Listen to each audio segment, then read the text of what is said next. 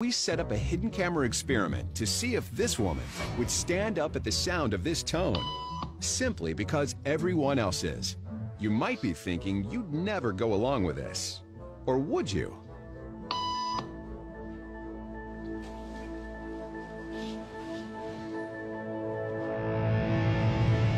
After just three beeps, and without knowing why she's doing it, this woman is now conforming perfectly to the group.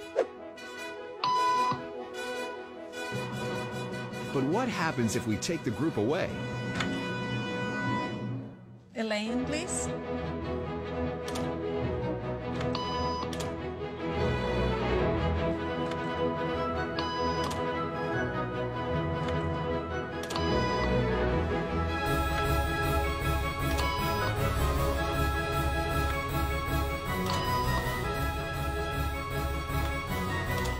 Okay, now she's alone. The crowd is gone and nobody is watching her except our hidden cameras. What do you think she'll do?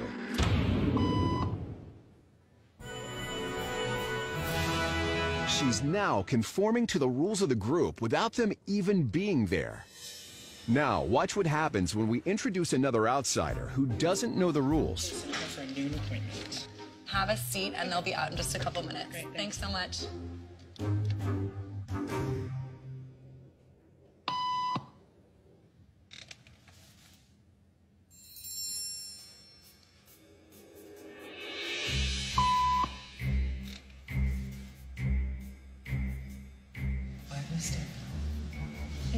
Was doing so I thought I was supposed to. Think she'll teach the new guy what to do?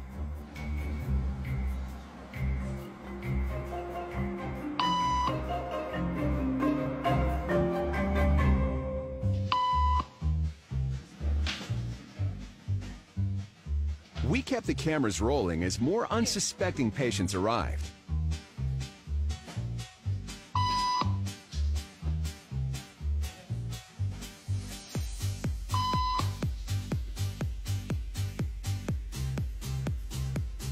And slowly but surely, what began as a random rule for this woman has now become the social norm for everyone in this waiting room. Here to explain what's going on in their brains is Jonah Berger of the University of Pennsylvania. This sort of internalized form of herd behavior is part of what we call social learning. Starting at a very early age, when we see members of our group perform a task, our brains literally reward us for following in their footsteps. When I saw everybody stand up, I felt like I needed to join them. Otherwise, I'm like excluded. Once I decided to go with it, then I felt much more comfortable. And it's why even this rebel, who wasn't standing for any of this nonsense, eventually joined the ranks.